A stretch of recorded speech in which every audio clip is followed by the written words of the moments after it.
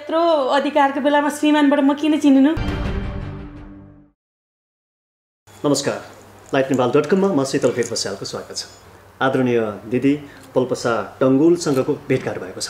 यहाँहरूले हेरिरहनु भएको थियो हिजो पनि मेरी भाषेमा जुन खालको रोल दिदीको थियो मुलाको सागको श्रीमतीको रूपमा दिदीले जुन खालको चाहिँ चरित्र प्रस्तुत गर्नुभएको थियो अभिनय गर्नुभएको थियो त्यो धेरैले मन पराइदिनु भएको थियो। अहिले पछिल्लो समय फेरि उल्टो सुल्टोमा पनि दिदीको चाहिँ नि जोरदार अभिनय प्रस्तुति छ। त्यो त हेरिरहनु भएको छ होला। पक्कै पनि आज यो रमाइलो कुराकानी हुन्छ यहाँहरूले। हाम्रो च्यानल लाइट नेपाल डट कमलाई हेरेर लाइक कमेन्ट अनि सब्सक्राइब गर्न चाहिँ नभुल्नुहोला। लागौँ आदरणीय दिदी पल्पसा डङ्गोलसँगको यो रमाइलो कुराकानीतर्फ। कार्यक्रममा स्वागत छ दिदीलाई। धन्यवाद। लाइट नेपाल। हजुर। सम्पूर्ण टिमलाई पनि मेरो एकदम स्वागत ओके। धेरै कार्यक्रमहरू हास्य कार्यक्रमहरू टेलि सिरियलबाट दिएर धेरैको मन जित्नु भएको छ। आजसम्म आउँदाखेरि। र यो उल्टो सुल्टोको बाहुनो भागसम्म पुग्दासम्मको अनुभूति समग्रमा टक्क भन्नु पऱ्यो भने समग्रमा टक्क भन्नुपर्दा सबैभन्दा पहिला मलाई त्यो सुरुमा मुला सागको श्रीमती हजुर। भन्नुभयो। मेरो आफ्नो नाम छैन? दिदी मैले त्यो हजुरलाई हजुरलाई किन भने नि। भन्न अहिले मैले, अहिले यत्रो अधिकारको बेलामा श्रीमानबाट म किन चिनिनु? ए ओके दिदी। चम्सुरी चम्सुरी। दिदी त्यो शब्द मैले दिदीलाई प्रयोग गर्न नसकेमा थियो मैले पनि जिस्केको केही फरक पर्दैन। मुला सागको श्रीमती भनेर चिनिन्छ। मैले जिस्केको okay. समग्रमा भन्नुपर्दा मैले मेरी भाषै खेलेको चौध वर्ष भयो। उल्टो सुल्टो खेलेको अहिले छ सात महिना भयो। मैले म दस बाह्र भागपछि म इन्ट्री भएको उल्टो सुल्टोमा उल्टो सुल्टोमा यति रमाइलो वातावरण छ यति र काम गर्न सजिलो छ कि मलाई? अब रवि रङ्गल एक त साथी भयो। रवि पल्सर अहिलेको कन्फ्युजन त्यही डाइरेक्सन गर्ने रवि रङ्गल एक्टिङ गर्ने पल्सर रङ्गल अँ। फेरि रविको एउटा सबैभन्दा राम्रो मलाई उल्टो सुल्टोमा उसको मतलब कलाकारको टाइमिङ मिलाइदिने। होइन? मतलब अब अरू सिरियलमा जस्तो उसको ठ्याक्क टाइमिङ बोल्नु ठ्याक्क सिद्धिन्छ। त्यो चिज एकदम राम्रो छ। मैले सुरुदेखि रविसँग काम गर्ने रविले भनेपछि म कुनै चिजमा नाइ भन्दिनँ मैले भनेपछि रविले केही नाइ भन्दिनँ। त्यो कारणले गर्दा नि हाम्रो कुरा मिल्छ र उल्टो सुल्टोमा एकदमै राम्रो। मलाई लाग्छ कि अहिलेको कमेडी सिरियलहरू जति पनि आइरहेछ मेरी व्यासै भद्रगोल यिनीहरू त छँदैछ होइन। त्यसको अलावा इमेजमा भइकन पनि यति राम्रो सिरियल अरू छ जस्तो लाग्दैन मलाई। जे होस् धेरैले मन पराइदिनु मन भएको छ। पराउनु भएको छ। र सफलतापूर्वक अगाडि बढिरहेको गरिरहेछ यो बाहुन्न होइन? मैले अघि पनि भनिसकेँ एउटा हाम्रो इन्टरभ्यूमा हजार बाहुन्नमा यसरी गर्न पाऊँ भन्दाखेरि हाम्रो बालदीप राईले बाँच्नु पनि पऱ्यो भने किन म पन्ध्र बिस वर्ष बाँच्दिनँ भनेर एकछिन जिस्केँ। त्यति नै जाओस् भने म नभए पनि सिरियल न नमरोस्। अब दिदी जुन मेरी भाषीमा दिदीको लगभग कति वर्ष? चौध। चौध वर्ष। चौध वर्षको अनुभूति अनुभव र अनि त्यो अतीततिर फर्क्यौँ न दिदी। चौध वर्ष अगाडि। मेरी विषयमा जुन खालको रोल प्ले गर्नुभएको थियो नि त्यो डायलग फेरि पनि दर्शकलाई ताजकी दिउँ न डायलग पनि याद छ मलाई होइन? अझ मलाई के याद छ भने सबैभन्दा फिल्मको डाइरेक्ट डायलग भन्दा पनि मेरो म मेरी भाषाको सुटि सुटिङको लागि दमनले मलाई फोन गर्दाखेरि म सुत्केरी थिएँ। ए हजुर। दोस्रो भाग हो कि तेस्रो भाग आइरहेको थियो टिभी सुत्केलाई टिभी हेर्न दिँदैन थियो नि त। ठ्याक्कै टिभी हेरेँ मेरी भाषा। ए दमनले सिरियल बनाएको छ भन्दा नि त्यसको एक हप्तामा मलाई फोन आयो। दिदी गरिदिनु पऱ्यो भनेर मैले ए दमन के भने? म त सुत्केरी छु भर्खर तिस दिनको अहिले भएको छु भनेको केही फरक मोटो चाहिने हो। एक भाग हेरौँ न भन्ने किसिमले दमनले बोलायो अड मेरो छोरी अडतिस दिनदेखि मैले खेलेको मेरो भाषा होइन। गएँ त्यहाँ पुगेपछि यस्तो रमाइलो वातावरण मलाई त्यो वातावरण भन्दा नि छोरीको याद। र आफूलाई यतातिर पनि इन्ट्रेस्ट होइन अनि त्यो सिरियल गर्दा गर्दा गर्दा मेरो आफ्नो डायलग भन्दा पनि तिन चार भागपछि एउटा सुन्तली मेरो छोरी नै सुरुदेखि नै छोरी थियो। छोरी अनि छोरीलाई माग्ने आउने केटाहरू एकदम धेरै। अनि बान्द्रेको फर्स्ट इन्ट्री अनि अब सबै कोही सबै केटाले रिजेक्ट गर्छ बान्द्रेले हुन्छ भन्छ कि। कस्तो लाग्यो त मेरो छोरी भन्दा? म त राजी छु बा भन्ने त्यति डायलगलाई बान्द्रेले कमसेकम दस टेक खायो होला दमनले झापडै हान्न लाग्यो कि? त्यो छिन चाहिँ म अहिले पनि बान्द्रेलाई जहाँ भेट्दा पनि तिम्रो डायलगै म त राजी छु भने जिस्काउँछु त्यो छिन चाहिँ म कहिले पनि बिर्सिन्न है? हजुर। भनेको हो बान्द्रेको फर्स्ट डायलगै उता उसले बोल्ने यति मात्रै म त राजी। भन्नेलाई चाहिँ टेक धेरै लिनुभयो। बिचरा नजानेर होइन आत्तिएर। आत्तिएर। मेरी भाषामा उसले भयो धेरै। आत्तियो नि त्यो कारणले गर्दा त्यस्तो भएको थियो कि त्यो सिन चाहिँ म जहिले पनि अहिले अहिले यो हाम्रो छ सय भाग पुग्न लागिसक्यो। हिजो अस्ति पनि बाँध्नेलाई म त राजी भनेर मैले जिस्काइरहेको थिएँ कि नकारण न दिदी भन्छ। सिनहरू चाहिँ म बिर्सिन सक्दिनँ। अनि जुन बेला मेरी बासिक स्टार्ट भयो अगाडि बढ्यो त्यसपछि अहिले त अब यहाँले धर्म सुन्तले फाउन्डेसन बनाएर उहाँहरू चाहिँ अँ, समाज अँ, सेवामा अँ, पनि लाग्नु भएको छ। र पछिल्लो समय स्टेडियमको होइन विषय पनि चलिरहेको छ।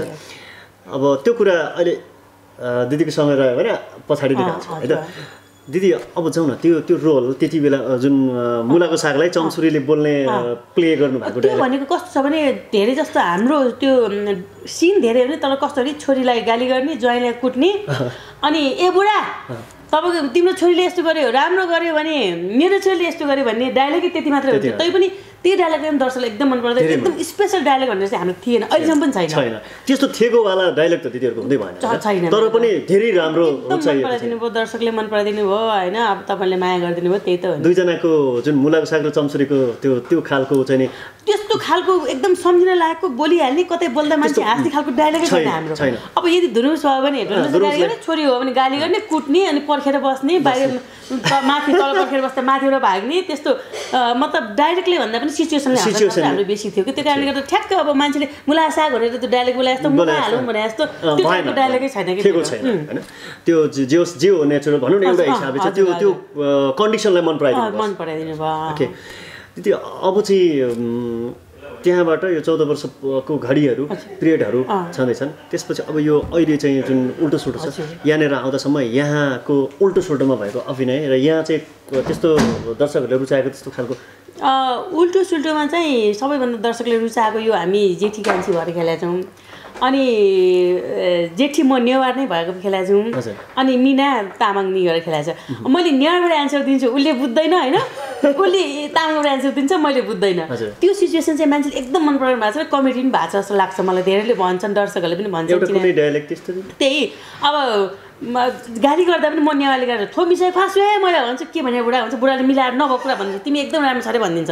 मैले भने हान्छु केटीको अनुहार हेर्नै मन लाग्छ भने हुन्छु अनि उताबाट के के त्यसो उसको भाषामा मनी बुझ्ने भन्छ उसले मलाई राम्रो भनिदिन्छ कि। बुढो बिचमा बसेर बुढालाई एकदम कमेडी कति कुरा बुढोले पनि बुझ्दैन कि। अनि बुढो थाच्च पर्छ त्यस्तो त्यस्तो त्यो रोल त्यस त्यस्तोहरू चाहिँ एकदम मन पराइरहेको छ अहिले दिदी स्क्रिनमा होइन। र आदरणीय दर्शकहरू यहाँको फ्यानहरूमा। जति खालको हाँसो दिनुहुन्छ खुसी दिनुहुन्छ एउटा रियल लाइफ होइन वास्तविक जीवन र पर्दामा। र स्क्रिनमा देखिएको यहाँको जुन खालको हँसिलो अनुहार। कतिको डिफ्रेन्स होइन म त एकदम एकदम खुसी छु।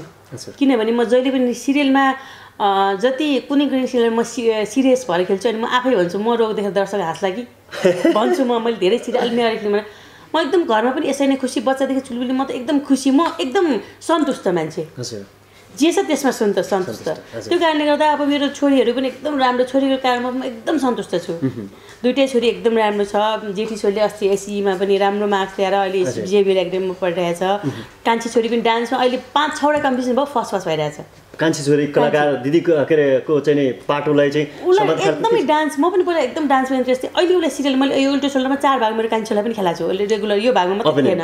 उसलाई इन्ट्रेस्ट पनि छ। डान्स पनि म स्कुलको डान्स टिचर हो उनीहरूको तर मैले सिकाउनु पर्दैन उनीहरूको ग्रुपलाई। है? मेरो छोरी भए पुग्छ त्यहाँ स्कुलमा प्रिन्सिपलहरूले पनि ल लुजलाको ग्रुप भनेपछि मलाई मेरो त्यो दिन क्लास भयो भने म टुक चुप्प लाएर बस्ने उसले सिकाउँछ। त्यति राम्रो गर्छ छोरीको कुरामा म एकदम खुसी छु। मेरो अब दर्शकले माया गरिदिनु भएको छ होइन? मेरो आफ्नो एउटा रेस्टुरेन्ट पनि छ नेपाली भोजन भन्ने मैले बर्थडेहरू त्यही मनाउने गरिरहेको छु। यो लोकेसन पनि भनिदिनुहोस् न लाजिमबाटको डान्सिङको ठ्याक्कै बारे नेपाली भोजन कल्चर प्रोग्रामै डिनर हुन्छ त्यहाँ। म कल्चर प्रोग्राम पनि चलाउँछु। एक त पहिला डान्सको हिसाबले गर्दा म सबैबाट किनभने म कसरी नराम्रो गर्न पनि खोज्दिनँ त्यो कारणले गर्दा भगवान्ले हेरे दर्शकले माया गर्नुभयो। म सबैतिर एकदम खुसी छु। हजुर जुन खालको चाहिँ नि दिदीले प्रस्तुति दिनुभएको छ त्यो आदरणीय दर्शकहरूले मन पराइदिनु एकदम। र सँगै दिदी एउटा डान्सर होइन एउटा डान्स टिचरको रूपमा पनि दिदी अगाडि हुनुहुन्छ। दिदी यो हास्य कलाकार भनौँ न हास्य रूपमा सिरियलहरूमा चाहिँ प्रस्तुत हुनुभन्दा अगाडि। हास्य कलाकार हुन्छु भन्ने लागेको थियो दिदी। मैले सोचेको पनि थिएन। म एसएलसी सिद्धेपछि एउटा डान्सर मलाई एकदमै ठुलो इच्छा थियो म एउटा राम्रो डान्सर बन्छु भन्ने कुरा। म एसएलसी सिद्धेपछि डान्स सिक्न आएँ। त्यही बेला मिस नेपालको फर्म देखेँ। मिस नेपाल हावामा फर्म भरेँ। सेलेक्सन पनि भयो। मैले एउटा एवार्ड पनि जितेँ बेस्ट ड्रेसको होइन। त्यसको लगत्तै मैले एक्टिङ हाँसेँ कि एक्टिङ पनि गर्छु भनेर सोचेको थिएन मैले। मलाई एक्टिङको अ पनि थाहा थिएन। म डान्स मात्रै गर्छु। डान्समा चाहिँ बच्चैदेखि इन्ट्रेस्ट मलाई। अनि गर्दा गर्दै त्यहाँ डान्स सिक्ने बेला मेरो गुरु राजु शाह हुनुहुन्छ उहाँले कुनै एड आयो भने पनि यो पल्लो पछाडि राम्रो छ म मेहनती छ यसले पठाइदिनु भने पठाइदिने। अनि त्यस्तो गर्दा गर्दा गाई जात्राहरूमा म म त्यो मेरी भाषाभन्दा अगाडि पनि धेरै सिरियलहरू खेलाएको थिएँ मैले। तर मेरी भाषाले मलाई हास्य कलाकार बनाए। सोचेर होइन एक्सिडेन्टली म हास्य कलाकार बनाएँ तर दर्शकहरू सबैले माया गरिदिनु मन पराइदिनु भयो। एकदम खुसी लाग्छ त्यसलाई कन्टिन्युटी अहिले छ अहिले अहिलेसम्म छ हजुर। यो अहिले यो उल्टो सुल्टो अ, लाई चाहिँ जुन तरिकाले चाहिँ अगाडि बढिरहेको छ यहाँको अभिनय र यहाँको पनि ठुलो देन छ होइन? अबको भनौँ न जीवन। यही हास्य विधामै र यही सिरियल सँगै अब डान्स त छँदैछ अनि दिदीको रेस्टुरेन्ट पनि छ। यसैलाई जीवन त दिने म त मैले बाँचुन्जेल मेरो शरीरले सकुन्जेल अझ बाँचुन्जेल भन्दा पनि शरीरले सकुन्जेलसम्म एक्टिङ पनि गर्छु डान्स पनि म छोड्दिनँ चाहे सिकाएर होस्। हुन त अहिले पनि स्टेजमा अहिले पनि म डान्स गर्छु महोत्सवहरूमा। सिकाएर होस् नाचेर होस् एक्टिङ अभिनय साथसाथै म बिजनेस पनि गर्दै जान्छु। हजुर। कार्यक्रमको अन्तिममा छौँ। दिदी लाइट नेपाल हेर्ने सम्पूर्ण दर्शकहरूलाई अन्तिममा के भन्नुहुन्छ अँ, लाइट नेप लाइट नेपाल हेर्ने दर्शक सम्पूर्ण दर्शकलाई अहिलेसम्म मलाई जति माया गर्नुभएको छ तपाईँहरू मेरो लागि भगवान् हो म नमस्कार गर्न चाहन्छु। तपाईँले जति सक्नुहुन्छ माया गर्नुहोस् त्यही अनुसारले मैले पनि जति सक्छ तपाईँहरूको लागि अझ अझ राम्रो राम्रो राम्रो राम्रो अभिनय गरेर डान्स गरेर पस्किने कोसिस गर्छु। माया चाहिँ गर्न नछोड्नुहोस्। तपाईँले माया गर्नुभयो भने हामीले के पनि गर्न सक्दैनौँ। म पल्पसा डङ्गल चम्सुरी नै तपाईँहरूको मायाले हो। समाजका दर्शकबिन यहाँले हेरिसक्नु भएको छ। मेरी बासैमा चम्सुरीको रोल अ, गर्नुभएकी आदरणीय दिदी पल्पसा डङ्कुल जसले उल्टो सुल्टोमा पनि राम्रो अभिनय प्ले- प्ले गर्नुभएको छ र एउटा सौता सौती होला। दिदी बहिनी जेठी जेठी सौताको रूपमा रोल प्ले गर्नुभएको छ। दिदीको यो सिरियलसँगै दिदीको बाँकी जस्तो दिदीले जानकारी गराइसक्नु भएको छ रेस्टुरेन्टमा पनि खाना खान खाजा खान जान सक्नुहुन्छ। अनि दिदीको कल्चर पनि छ त्यहाँ पनि हामी चाहिँ जान सक्छौँ र दिदीसँगबाट लिन सक्छौँ ज्ञानहरू दिदीसँगको यो रमाइलो कुराकानी हेरिसकेपछि यहाँलाई कस्तो लाग्यो? हाम्रो लागि सुझाव सल्लाह अनि प्रतिक्रिया दिनु होला। लाइक नेपाल डट कमलाई लाइक कमेन्ट अनि सब्सक्राइब गर्न नभुल्नु होला भन्दै यो रमाइलो कुराकानी हेरिदिनु होला भनेर फेरि पनि रिक्वेस्ट गर्दै म शीतल भेट पश्चाल पनि बिदा हुन्छु। नमस्कार। हामी जे देख्छौँ त्यही देखाउँछौँ। जे सुन्छौँ त्यही सुनाउँछौँ। फरक विचार भिन्न प्रस्तुति। हाम्रो नेपाल उज्यालो Nepal. Light Nepal light Nepal.